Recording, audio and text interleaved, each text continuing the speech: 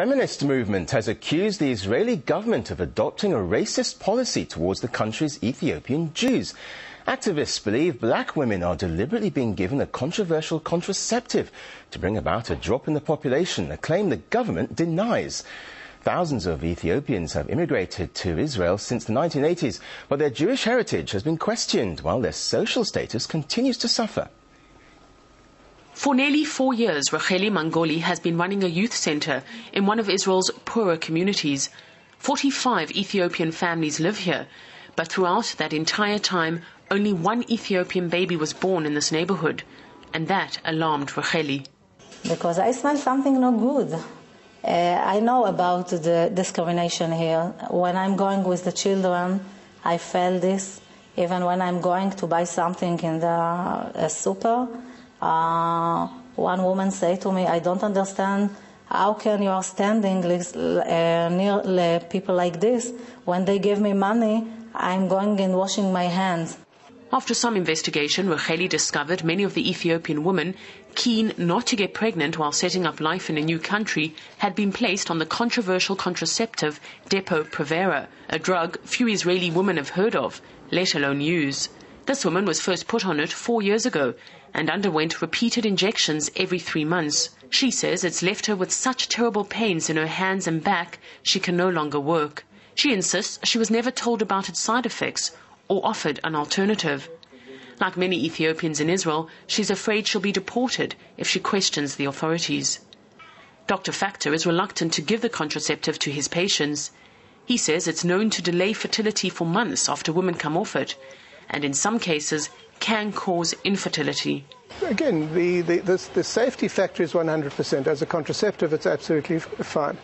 But at least 10% develop substantial side effects uh, side effects like irregular bleeding, the periods may disappear, they may have heavy periods, and it's impossible to reverse these side effects. Until it's worked itself out of the system, you can't reverse these.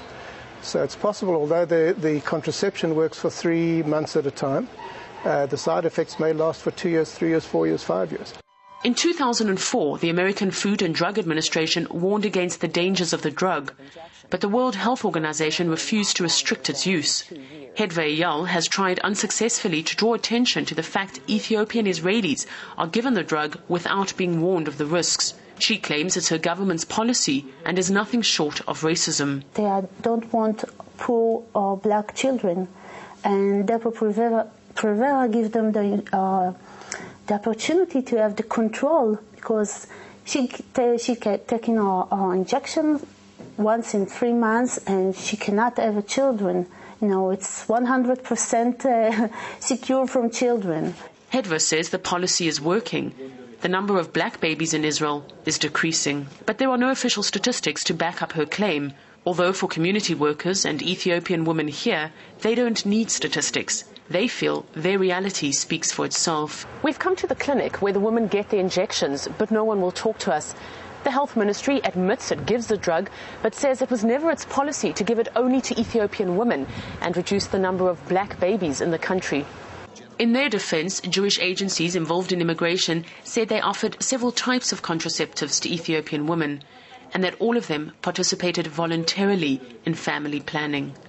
Paula Slier, RT, Israel. Well, for more on this, we're joined live by Dr. Yifat Bitton from the Israeli Anti-Discrimination Legal Center, Tmura, and also by Professor Zvi Bentwich, immunologist and human rights activist. Well, thank you both for joining us. To you first, Dr. Bitton, do you believe the findings of this human rights group reveal a genuine problem with racism in Israel? Uh, I, I, certainly do not think so. I uh, would say that we are and personally I'm very sensitive, especially towards uh, the Ethiopian uh, issue, and I don't think there is uh, any ground to suspect a, a, an official policy of that kind. I, of course, do not know sufficiently the specifics of the, of the cases uh, raised by the Dr. Bitton. Well, let's, let's give Dr. Bitton a chance to actually respond to that then. What's, what's your view on that? Okay, so we know the statistics, and the statistics speak to themselves. Uh, what it's are the statistics? Uh, a matter of view. It's a matter of statistics, as Professor Bentwich just said. And uh, the Isha Isha, Women to Women uh, Center in Haifa, the statistics are that 60% of the women uh, receiving this contraceptive, this controversial uh, one, are Ethiopian Jews. And you have to understand that Ethiopians in Israel comprise of or consist up to only 1% of the population. So the gap here is just impossible to, to reconcile in any logical uh, manner that would, you know, just somehow resist the uh, claim of racism. So I don't think, as Professor Bentwich said, that this is something that has to be official. This is the problem with racism today, that, it, that nothing is official. But everything, you know, as um, in, in, in the, on the ground and statistically and the, uh, and the consequences of what is not official is definitely racism and is definitely racist in that manner. And this is how sociologists today look at racism as something that is uh, um, eventually bringing upon very discriminatory um, consequences. Okay, to well, the well, hang on just a moment. Professor here. Bentwich, you, you've heard the, uh, the statistics Okay. there. How do you respond Yes. to that then? Yes. Uh, I, I would only say two things. Number one, I'm not uh, against looking and inquiring the claim. If, if there is a claim, one should investigate. But when asked about official attitudes, official policy, official uh, um, medical policy, I uh, uh, am very reluctant to accept uh, that that is indeed a policy of racism on that part. To the best of my knowledge, and I have looked into that repeatedly many times, and I, again I emphasize I am not alluding to this specific case. I don't think there is any ground to suspect the medical community or the medical official uh, in uh, instituting such a policy. It can be a case that has to be inquired into, but it de- definitely does not reflect a policy that uh, is official. Well, we heard the words uh, investigation and inquiry there. Dr. Bitton, do you believe an official investigation into this issue uh, needs to take place? But the question is, of course, what, what is official?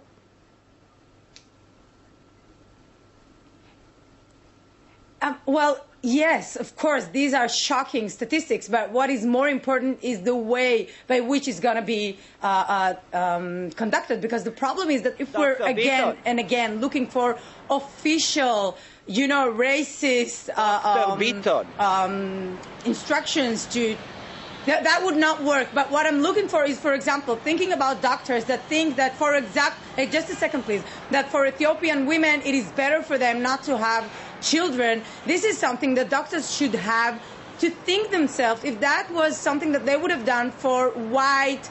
Jewish uh, Israeli women as Dr. well. Bitton, this is the whole Dr. question Bitton, that they should if ask you will- themselves. Even if they think that they're working for the best interest of that patient, they still have to ask themselves, is that exactly what they would do for Jewish women as well? All right. After you have finished, Dr. Bitton, and you allow me to, to put in a word, I think we all agree that racism should not take place, and we are fighting racism daily and, and where we think it exists. I do not, and I emphasize, I do not think that the problem you allude to is a major problem in Israel. There are other serious problems of racism in Israel, but that is not the one that we think is a major one. And I don't think that uh, an inquiry of the kind that is needed cannot be made. If you ask me, if you present the cases to our organization, we would be happy to look into that. But I think you make too strong a case with too little evidence to support it. Okay, you mentioned the word uh, racism there. So, uh, Dr. Bitton, how serious is the issue of you know, racial uh, segregation in Israel? Who, uh, whose perspective we're taking, because if we take the women,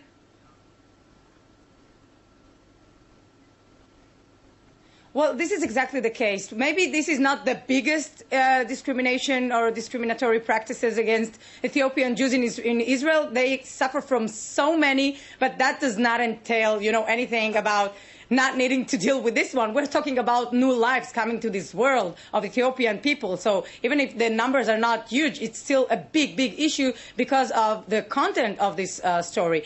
And second of all, uh, uh, Ethiopian Jews in Israel are really uh, at one of the lowest positions of, of, of, Jews in Israel today. And this is very saddening to see this only as, you know, another step, another layer, another brick in the wall that they, of discrimination that they have to deal with every day. For them, it's a, it's, it's a consistent uh, you know, mechanism of discrimination that they suffer from. Okay, they don't well, let's think let of it Professor as what Bentwich uh, respond to that. Professor All Bentwich, right, let, let why do you yeah. think so many very, Ethiopian very Jews live in fear of deportation? Isn't that the case? I, I, if, if Dr. Bitton will allow me, I am uh, following the Ethiopian community since their arrival in 1991, actually 1985. I, I'm definitely uh, concerned about several aspects of their absorption, their development, and so on and so forth. However, I have to say that uh, uh, credit has to be given overall, overall, to a, to a great investment in, in that community and actually to the development of several parts of, of that community in a very uh, uh significant manner. So I think uh, there are problems, there are certain parts of that community which are neglected or not that developed, but I definitely don't think that we are dealing with an official or a dominant policy. And certainly, with regards to racism, I think racism exists in Israel, but is not. Uh, the major problem of racism is not towards the Ethiopian community, but rather towards the Palestinian, towards the Arabs, much more so than towards the Ethiopian. Okay, I'm afraid we'll have to leave it there. We're out of time. Dr. Yifat Bitton from the Israeli Anti-Discrimination Legal Center and Professor Zvi Bentwich, physician and human rights activist. Uh, thank you both indeed joining us for live here from Tel Aviv. Thank you both.